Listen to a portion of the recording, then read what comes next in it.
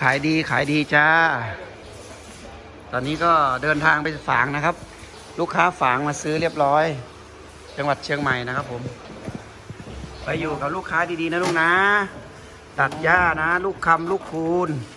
ลูกเทพของพ่อ ไปอยู่ฝางนะลูกนะ